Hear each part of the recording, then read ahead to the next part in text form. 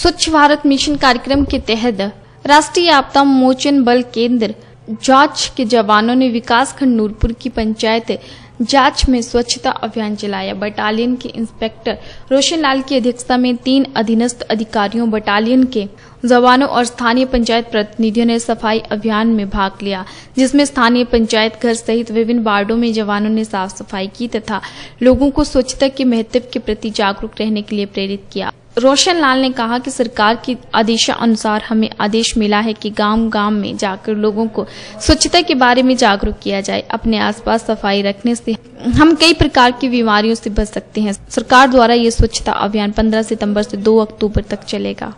ऐसा है कि हमारे को भी आदेश मिला है कि जच गाँव तहसील नूरपुर में सफ़ाई अभियान के बारे में लोगों को भी अवेयरनेस करना है और सफ़ाई करना है, ताकि हर आदमी स्वच्छता से जुड़ा रहे और अपने इलाके में पूरी तरह से मतलब सफ़ाई रखें।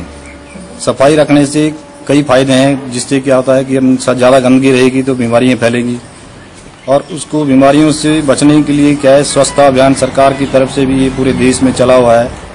गांधी जयंती के उपलक्ष्य में कि ये 15 सितंबर से 2 अक्टूबर तक चल रहा है। तो इसलिए ये पूरे भारतवर्ष में स्वच्छता का एक अवसर गवर्नमेंट की तरफ़ से भी जो आदेश है कि हर आदमी स्वच्छता में जुड़े, ताकि पूरा देश स्वच्छ रहे।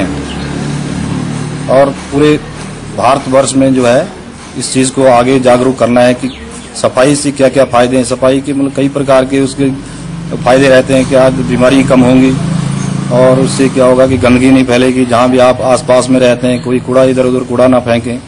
कोई भी कूड़ा करकट होता है तो उसको एक जगह डस्टबिन में या कहीं खड्डा करके उसको एक जगह पे रखा, इकट्ठा किया जाए ताकि मतलब गंदगी ना फैले, जिससे कि बीमारियों से बचा जा सके।